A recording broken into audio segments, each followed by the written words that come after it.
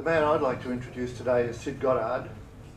Syd uh, spent time in the RAAF during the war, flew lots of aircraft, but the one that he fell in love with was the Mosquito, de Havilland Mosquito.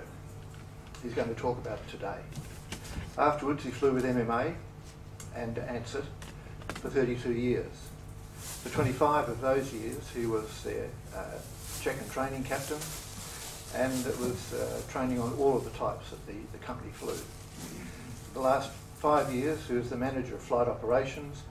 And when he retired from that, he went to New Guinea for four years as Director of Operations in New Guinea. I'd like to introduce you to Syd Goddard. aeroplane that I really enjoyed was the, de Havilland Mosquito. It was generally considered to be the outstanding, well, the out, outstanding warplane operated by, by the Allies in World War II. And the Air Chief Marshal, Sir Basil Embry, stated that it was the finest service aircraft, without exception, ever built in, in Britain. It was faster than the, the Spitfire, and it could, could perform an, an upward roll with one propeller feather.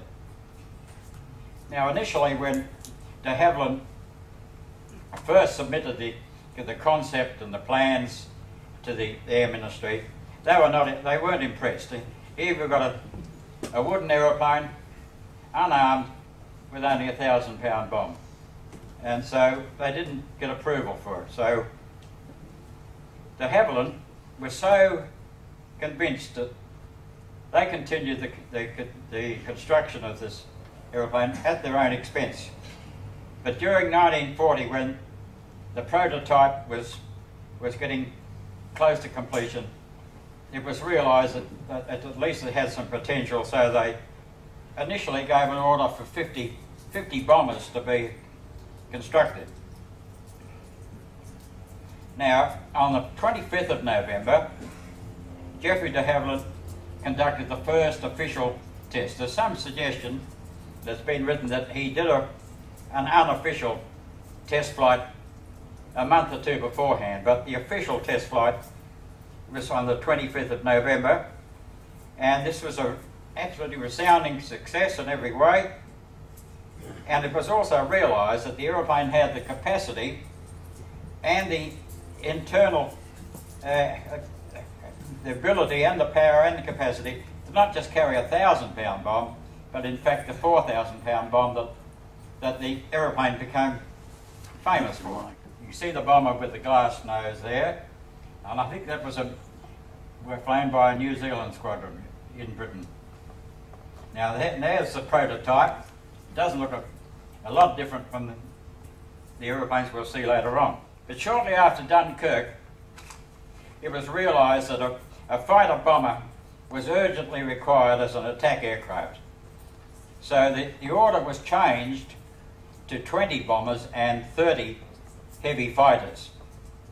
Now these fighters were fitted, fitted with a four Hispano 20 metre cannon. Cannon, you've just heard all about those from the previous speaker. In fact, he knows more about them than I did. But and four Browning machine guns in the nose. The cannon were virtually in the place in this aeroplane where the, the bomb bays normally would have been. Now, talking about the construction of the Mosquito, the, main, the main thing to know is that it was really made, it was really made of plywood. And, and it consisted of three 8-inch sheets of Ecuadorean balsa wood sandwiched in between sheets of Canadian birch. Now a casein glue was developed and this provided the strength, but it basically was a, it was a, a plywood finally, after all this was done, a covering of very fine sort of uh, material, cotton material, was placed over the surface. Now, when it came to the wings, making the wings, these were built as a single unit. They weren't built as two wings as, you, as normal one. And also, in the construction, as well as the, the glue on the plywood, each aeroplane was estimated to contain 30,000 brass screws. This made it added to the strength.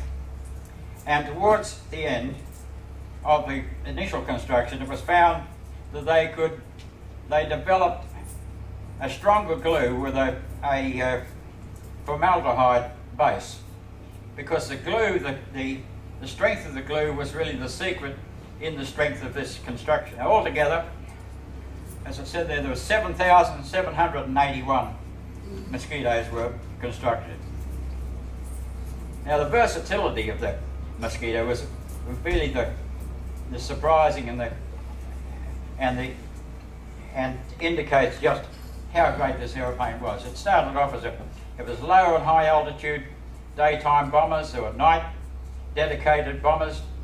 The Pathfinder group had a, another model. There were day and night fighters, the intruder attack aircraft, and the maritime strike. There weren't many of them. And lastly, further reconnaissance. Just briefly on performance, and it doesn't mean very much because there's so many different models that they vary. But overall, it was generally accepted that the top speed was about 318. It cruised at 270. Uh, I flew the Mark 6 and we cruised about 270, 275.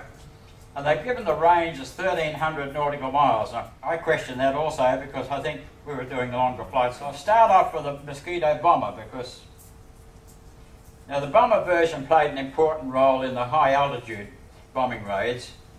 Berlin and return, four hours and the 4,000 bomb. We all knew about that even in Australia we heard about that.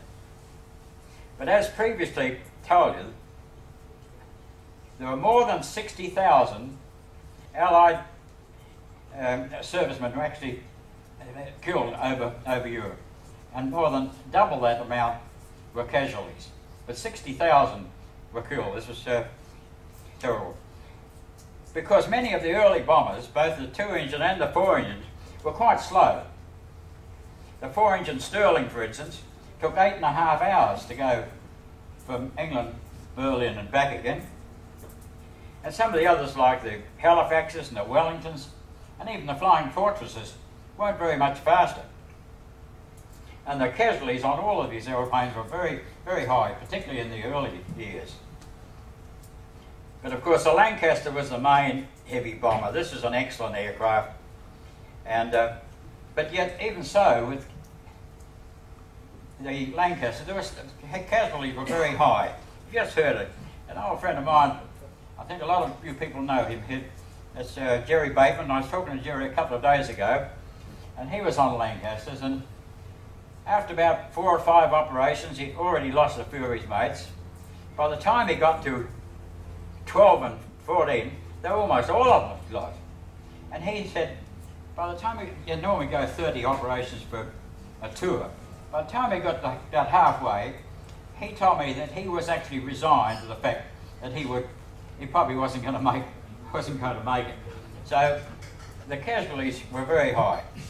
In some ways, and because even with the Lancaster, as good as it was, the, uh, they were still vulnerable right up to when they returned, and occasionally they'd be attacked in the circuit area when they arrived, back at home base.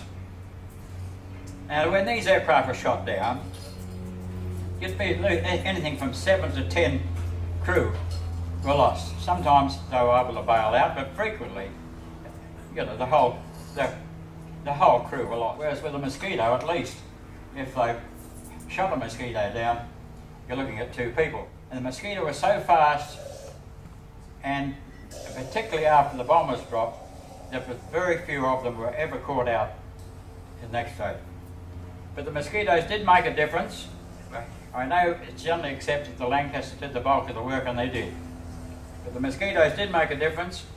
Bomber Command mosquitoes flew 28,000 missions, 28,000 missions, with a loss of 193 aircraft. Now that's a loss of 0.7%, which is a loss of 7 in 1,000, which is which is fairly good from a point of view of loss. And of course, a heavy aircraft percentage was far greater. Also, with the Mosquito and its contribution, a Mosquito bomber holds the record for the most missions flown by any Allied aircraft in World War II. One Mosquito flew a total of 213 missions and it survived the war. See the bomber see a picture of the bomber, it's normally got the glass nose, that one's got the bomb doors open. Now, the one that's closer that I know a little about, the fighter bomber. And that's the Mark 6. You can pick the fighter bomber as from the, the fighter, you can see the four machine guns, the nose. Uh, cannons are a bit harder to see because they come underneath. Now this was the most numerous version of the mosquitoes. There was 2,290 um, produced. They were, but when they were used by the intruder squadrons of Fighter Command and the strike wings of Coastal Command, they, they were armed with these 800, 860 pound rockets and or two 250 pound bombs. And because of that, all the Mark 6s had strengthened wings to be able to take the rocket rails. I'll just talk about a few of the targets. One of the high risk targets, and they, a few that got some publicity, was the, the prison complex at Amiens in France. Now, where 600 French resistance and other prisoners were held, and they were told they were held for probable execution. So there was a, a lot of pressure on the on the RAF or Britain to do something about it. So the three squadrons, an RAF, an Australian 464 and New Zealand squadrons attacked this prison complex in Amiens. And the, the main building holding the Gestapo officers and all the prison guards, the whole building was destroyed completely and the surrounding walls were, were, were blasted. Now, they said most of the prisoners escaped, but quite a few of them were recaptured, but they estimated that half of them escaped. You, you wonder whether it was really worth it, but at least that was it. This target was heavily defended, and that's why they were reluctant to do it for some time. And amongst the mosquitoes lost was the commander of the whole operation, was a group captain Pickard. I'll just tell you a couple more of these. The second one that, took, that they got a lot of publicity for was the, the raid on The Hague, Netherlands, where the Gestapo stored the complete central population register of the whole of Holland. Now, when they, they attacked it, they were so accurate that the bombs and high explosives and incendiaries went through the, the doors and the windows, and the whole of the records were destroyed. And they said in the article I read on it that the, the local Dutch people, only about half a mile away in a, in a bread queue, uh, weren't even affected by it. So they, even in those days, they could get quite accurate with this type of uh. And the third one I just mentioned was the Gestapo headquarters at, at Schellers, Copenhagen in Denmark. Now the, the Danish resistance, Danish resistance, had been requesting a raid for some time but the, the target was so heavily defended that, that the Air Command were reluctant because they thought it was a waste of time. But finally, with the mosquitoes, they took 20 mosquitoes were involved. They went three waves, and they were able to demolish the whole lot. And 55 of their senior Gestapo officers were, were reported to be killed, and all the German records that they were worried about, and they were also destroyed, and they lost four mosquitoes in that raid. Now, we're still talking about the Mark 6. Some of the notable pilots, and some of the old blokes here will remember them. There's Wing Commander Guy Gibson. He was the CEO of 617 Pathfinder. He crashed in, in Holland. And Group Captain Len Cheshire, VC, famous for other things. Uh, he became the, the CEO after after um, Gibson was killed. Another one you may know was John Cat's Eyes Cunningham. Now he was an outstanding night fighter where he got his name, but in later years he, he became famous as, as uh, the Concorde captain. And uh, I'm not sure whether he was chief pilot or test pilot on that, but he was flying the Concorde later. Another one you'll all know, of course, uh, was Keith Miller, the Australian test cricketer. He flew the Mark 6 Mosquito over there in an English squadron. Who, when he asked how he coped with stress as a test batsman, replied in his famous statement, Stress is when you have a message Messerschmitt up your ass. cricket, cricket is not stress. there you are. The last one of the noted people was Squadron Leader Eric Brown. You wouldn't know the name, I didn't either. that he was a test pilot credited in the Guinness Book of Records with having flown the greatest number of aircraft types in the world. And he was the first pilot to land a Mosquito on an aircraft carrier. And that was quite a feat. One of the, there weren't a lot of them, but in Britain they used the Mosquito Night Fighter. It's a special aeroplane. You just see the guns out the front of that one too. Now here, oh, you can see the cannon on the bottom there. Machine guns always prominent, but the, the cannon underneath it a bit harder to see. Mosquito Night Fighter. This was equipped with aircraft interception radar. It was called device called Serrate. And this allowed them to track the German night fighters over UK. Now the Luftwaffe was equipped with Bf 110s and but mainly Ju 88s. A good aeroplane, but still uh, not of lower performance anyway than the Mosquito. 258 Luftwaffe night fighters were officially destroyed for the loss of 70 Mosquitoes. So they didn't altogether have it their own way, but that's about three and a half to one. We're still on the night fighters and night flying. Group Captain Len Cheshire, in command of the Pathfinders, planned to use Lancasters and did for a while, but finally, because the Lancaster was very vulnerable to anti-aircraft fire, particularly low down, so the mosquitoes were used with great success.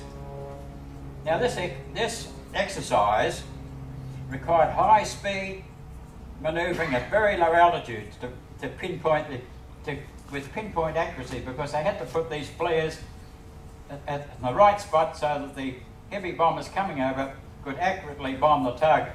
Not, it didn't do a lot of this, but I've just mentioned the photographic mosquitoes. This was, was possibly the outstanding photographic aircraft of World War II. With no armament, no bombs, it was light and terrifically fast. It could easily climb to altitude, um, photograph the target, and return without being detected. And I couldn't find any records of photographed mosquitoes that were lost. Now I'll have a quick talk about the handling, not too much to tell here. Taxiing was pretty straightforward, just a normal, obviously not as easy as flying or taxiing a tricycle, but with excellent brakes and very responsive engines, it wasn't a problem. The only thing it was important that you had the flaps up completely, and also any run up you did before takeoff, the flaps had to be up. Uh, on the takeoff, takeoffs, this is fairly exciting aeroplane to take off. There's a slight tendency to swing to the to the left, and during, but this could be offset by just slightly leading with a poor throttle. But with 3,000 revs, when you got to 3,000 revs, this this aeroplane was really going somewhere. After liftoff, the aircraft was held just level for a few seconds after the undercarriage was protected. As soon as you got 150 k's, you could start climbing, and you normally took off with 50, 15 degrees of flap. 25 was possible, but uh, as far as I know, we only used 15.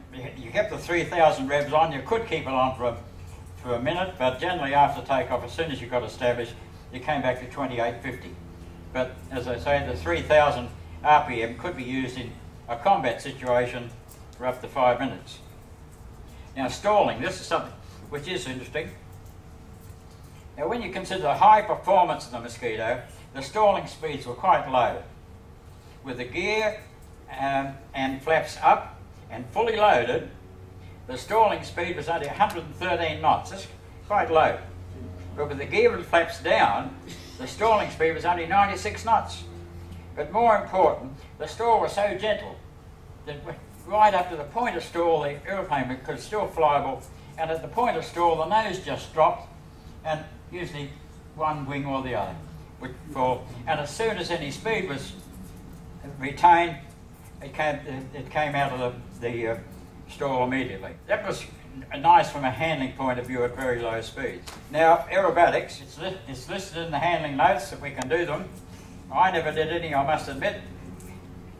Uh, but the fact that they can be done gives some indication of the of the maneuverability of the aeroplane. They list the roll, can, a normal roll can, on the level can be done as a low as 200 knots, quite slow. But a climbing roll, uh, you needed 305 knots. But uh, in all the rolls, it, they had to be barreled slightly or enough to keep both engines running. A loop is a different story. That needed 330 all the way around. Next, handling on the landing. This was a nice aeroplane to land.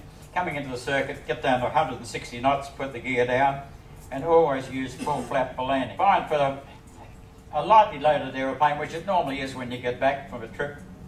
This, the approach speed over the fence was only 110 knots, which is not too bad. And despite its high performance, the Mosquito was very easy to land. And one of the reasons goes back to the stall characteristic. This aeroplane was quite nice to handle, almost to the point of stall. So an aeroplane that's got a, such a docile and nice stall like that, you could expect it to be nice to land. In a few minutes and I'll just tell you about the Australian operations. 36 of the Mark 6 fighter bombers were shipped to Australia and they were allocated to number one squadron RAAF.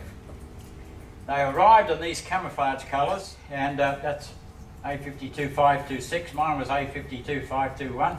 Uh, they were painted silver because of the effect of the hot sun. Now, because of this glue situation and the fact that it's plywood, they were worried about the heat, and I think they're quite right in doing. it. So here you see them all, and one, the one right at the end there has already been painted silver. But I never saw them in these colours. When I got my aeroplane, it was silver, and they, they were all silver. Now, our squadron, number one squadron, was based on Labuan Island, North Borneo, you all know where it is.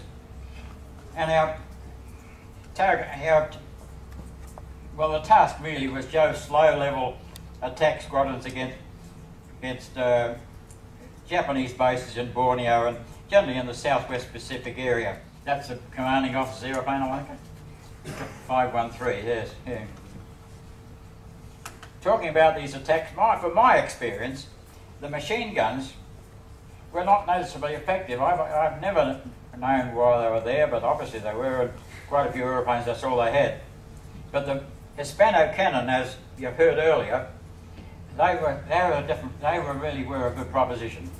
They, they, uh, you can actually feel the retardation when you fire them, and if you're hitting a building or anything like that, you can really see you're getting somewhere. Taking off from Labuan, we're based on this island up at Labuan, it had a few problems. The runway was only 3,500 feet. That's not very long. The unsealed surface, on one strip, down one strip was a, a squadron of Beaufighters. On the other strip was a squadron of Kittyhawks. So if you swung on takeoff, you did maximum damage to, and this is what happened. We lost two aeroplanes this way, mainly because with a heavy loaded aeroplane and short runway, there was a tendency to try and pour the power on too quickly and jack the tail up too quickly, so and you had the gyroscopic effect. And the two that did crash, two aeroplanes that did crash, were reported said it happened so quickly that it really caught them. But fortunately, both the crews survived. Now, on the operations, I just mentioned it was mainly, it was all low-level strafing and targets of opportunity and, and trying to stop the barges and, and the equipment getting through to Japanese bases. The only difference I found was one, but we were doing some flights from going from Borneo right across the South China Sea to was called Indochina, we call it Vietnam now. Just a point on this one, it was very low, very low and, oh there it is, yeah. And there was some suggestion that the Japanese might have had radar, and I doubted it, but we were supposed to fly low all the way. And this was a total of six hours, including the time spent over targets. Flying over the ocean here, in the tropics like this, at times, and the, certainly when I flew it, it was absolutely calm. You can see why ships, or sailing people be calm. The water was absolutely glassy, almost like a mirror. So any suggestion of really low flying became quite dangerous. So usually you had to jack it up to a couple of hundred feet so you didn't have to be trying to estimate how high you were above the ground. The other feature about this, if you fly that long, very low over the ocean, particularly over tropical air, there seems to be a salt content in the air because by the time we got back, there seemed to be quite a, a, lot of salt on the windscreen. And you, you, just could not land if there was any sun shining on blinds. They had to come around and come in the other way. At the war's end, and my end nearly, five of our mosquitoes went to Japan to, to be with the occupation forces. But the balance of us all flew via Balikpapan back to Richmond Air Base in Sydney with all our mosquitoes and never to fly again. And that was the sad part, really, because that's what happens in those days. Just a quick one there. They asked for invite any questions, but it's so long ago I've probably forgotten the answers, but you, you, could, you could try. The undercarriage flaps and brakes, were they hydraulic or pneumatic? Uh, pneumatic. And I didn't think it was a good system. Uh, that was one of my criticism, in my personal criticism, because uh, the, the pneumatic system also fired the cannon. And on one occasion we came back and they, somehow or other we didn't have any brakes anyway because because the pneumatic system, uh, something had jammed and we lost all the air. So did, we didn't like the pneumatic system for that. How did they fly if you lost an engine? Uh, oh, it wasn't a problem at all on one engine, but this is an important point. At no stage did we ever lose an engine in the squadron. And I refer back to and uh, my friend over here with the Lancaster, I spoke to Jerry Bateman. At no stage in 30 operations with Lancaster, you know, you still got the Rolls Royce, did he ever have an engine failure? Those engines, way back in those days, were so reliable. I never had a suggestion of uh, engine failure at any stage. Which German aircraft were comparable and what were the comparisons? Well, I don't know. They've said here that Ju-88 wasn't quite, you know, it was it was fair competition because we lost, uh, they lost 210 and we lost 70 sort of thing. So it gave them a reasonable go. But but uh, at the time they didn't have anything. the mosquito all to themselves from a speed point of view. In the end, the Germans were producing an aeroplane, and it was a wooden one too, which was going to be faster than, than slightly faster than the Mosquito, but the bombing was so intense that they could never get to the stage where they could fully produce it.